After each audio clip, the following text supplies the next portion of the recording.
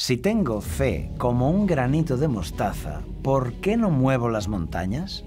¿Te gustaría investigar, profundizar? Pues has venido al lugar correcto. Hoy aprenderás el significado de la fe en las palabras originales que los profetas escribieron en la Biblia. ¿Estás preparado?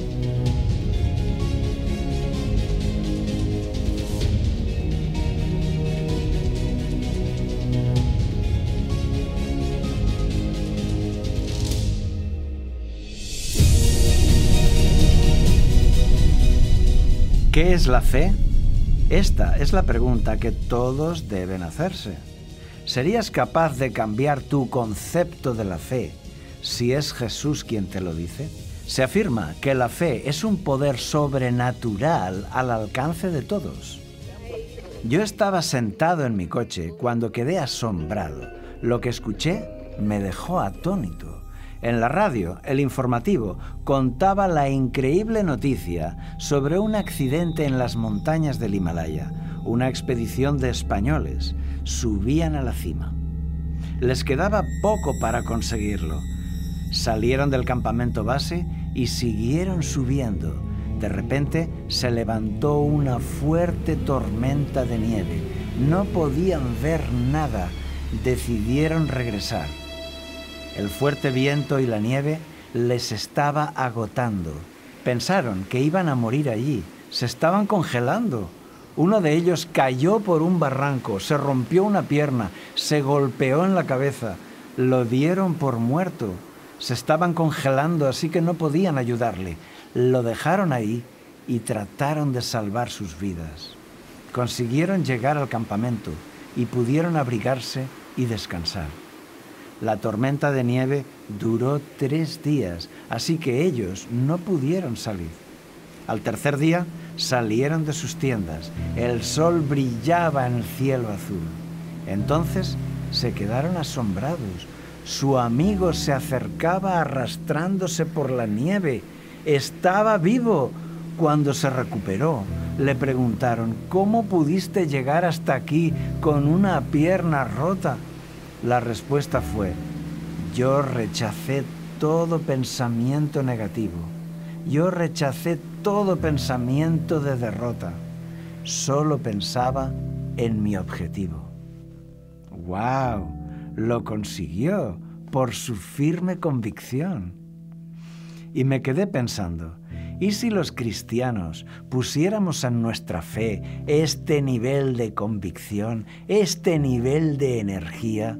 Si actuamos con esa intensidad, ¿qué sucederá? Sucederán milagros, por supuesto. Si el hombre hiciera su parte humana con esa firmeza de convicción, ¿cuánto poder divino se descargaría? Pero, ¿por qué esto no sucede? El que tiene fe mueve montañas. ¿Tú tienes fe? Mover montañas. Existe evidencia en la ciencia y en la arqueología de que tú puedes confiar en la Biblia. A partir de ahí, tú debes avanzar por experiencia propia. La fe es un poder sobrenatural al que todos pueden acceder por experiencia. De cierto os digo que si tenéis fe como un grano de mostaza, diréis a este monte, pásate de aquí allá, y se pasará, y nada os será imposible. ¿Tú mueves los montes? Entonces, ¿significa esto que no tienes fe? Si Dios está transformando tu carácter, estás moviendo montañas por la fe. Si Él te da victorias sobre el egoísmo, estás moviendo montañas por fe. Sigue adelante y por la fe moverás montañas de problemas. ¿Qué es la fe? Pablo nos dio una definición de la fe. Es pues la fe, la certeza de lo que se espera, la convicción de lo que no se ve. ¿Qué significa esta certeza y esta poderosa convicción? Te aseguro que al final de este vídeo tú lo habrás entendido muy bien. No podré explicarte totalmente lo que es la fe, nadie puede porque es una planta de origen celestial y no hay palabras humanas que puedan definirla completamente. Pero sabemos lo que la Biblia enseña sobre la fe. Y es lo siguiente. Dos palabras antiguas nos van a dar la clave. Son la palabra fe en las dos lenguas originales de la Biblia, en griego pistis, en hebreo emuna.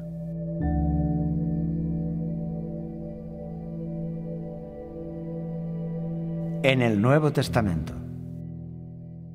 En el Nuevo Testamento la palabra usada para fe es pistis, que se traduce como fe o fidelidad. Significa las dos cosas. En español, fe viene de la palabra latina fides, que también ha dado en español las dos palabras diferentes, fe y fidelidad, porque también significa las dos cosas, fe y fidelidad. En las palabras de Jesús, pistis aquí significa fiel, obediente. Mira cómo aparece dos veces en este texto. Su Señor le respondió, Hiciste bien, buen siervo y fiel. Has sido fiel en lo poco, y te pondré a cargo de mucho más.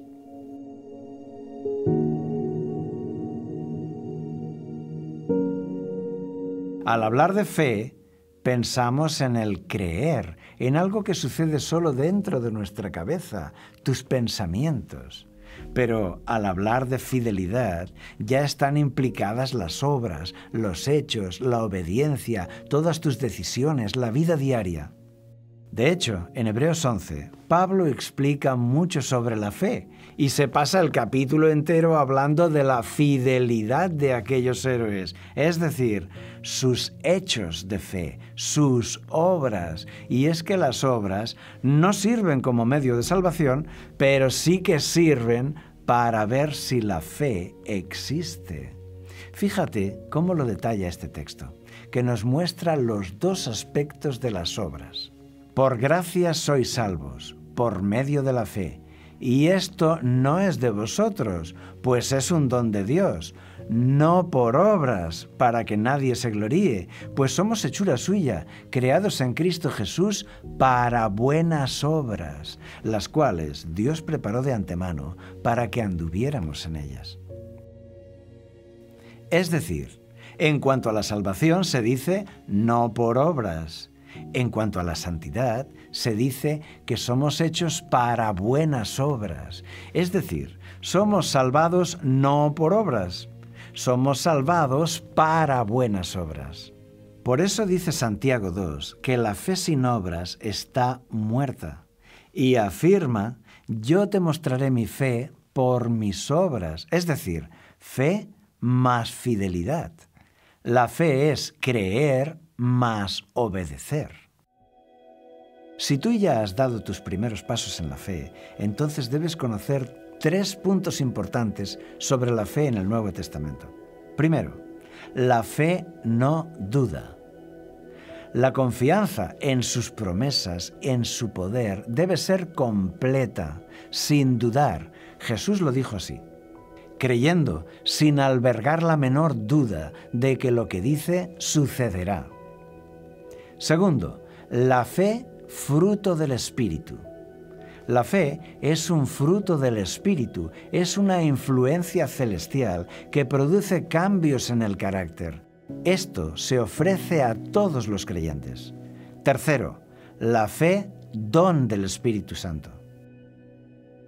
Esto es diferente. Aquí ya hablamos de superpoderes. Esto es solo para algunos. Todos los dones del Espíritu Santo son milagrosos. ¿Qué es un don del Espíritu Santo llamado fe? A algunos elegidos, Dios les concede una fe tan poderosa que les da la capacidad de realizar cosas grandes e imposibles, que llamamos grandes milagros, como calmar una tempestad o resucitar a alguien. En el Antiguo Testamento, en los libros de los profetas encontramos lo mismo. La palabra clave es emuná y su raíz amán, que significa también fe y fidelidad.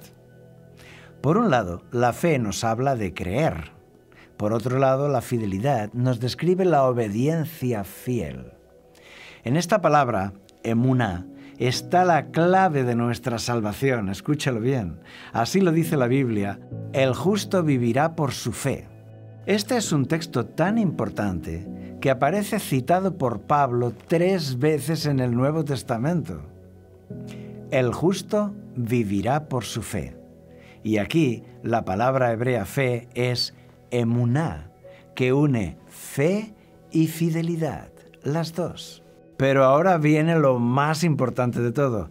Emuna significa también firmeza, firme. Imagina la escena. Estamos en medio de una gran batalla. Cuando Moisés alza los brazos al cielo, entonces Israel gana la batalla.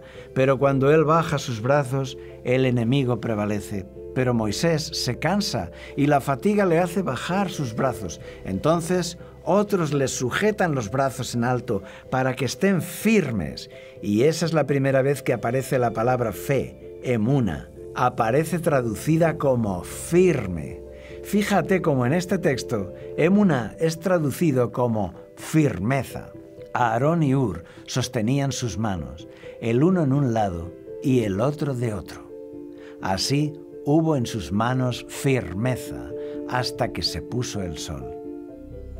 Por lo tanto, la fe emuna de la Biblia es también firmeza. Te dejo otro texto muy claro, donde emuna es firmeza. Así habló Yahvé a su elegido Eliakim.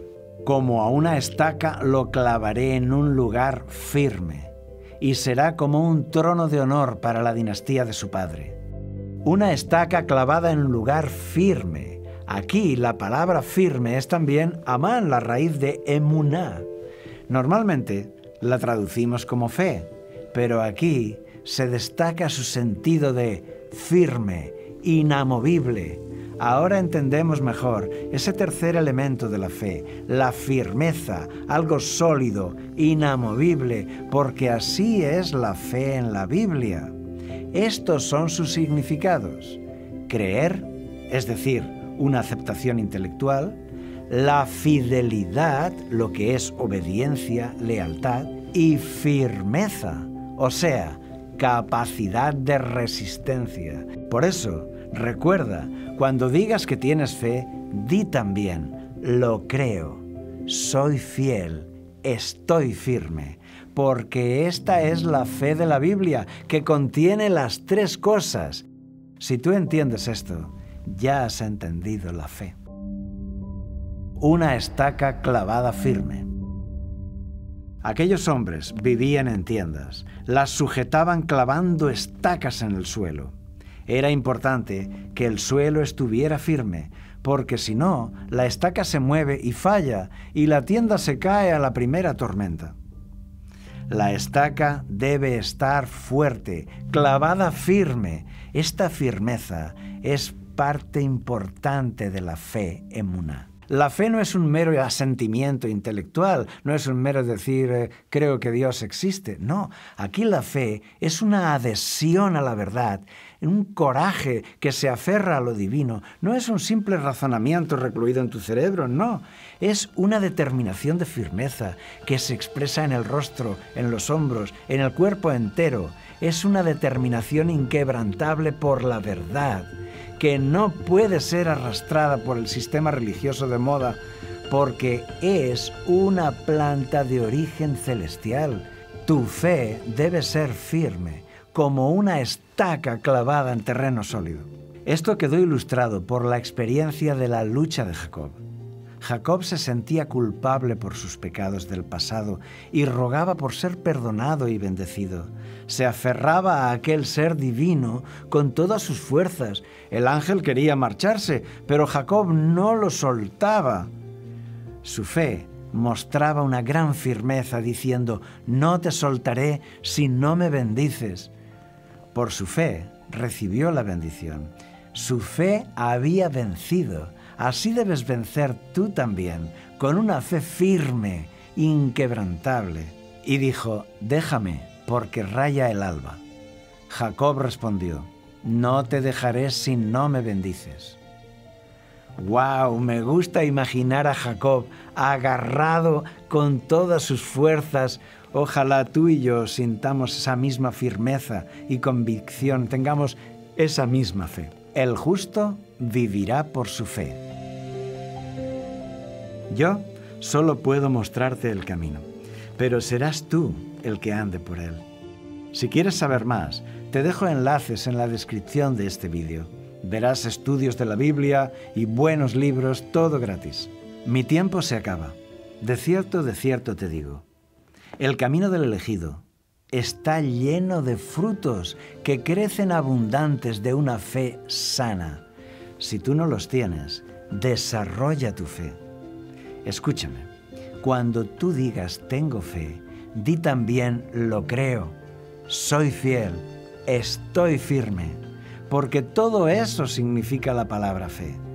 En el camino del elegido, la fe afirma los pies de ellos, nada puede arrastrarlos, son firmes como estacas clavadas en terreno sólido. Sus ojos están puestos en Jesús. El poder sobrenatural de la fe les ha dado la victoria.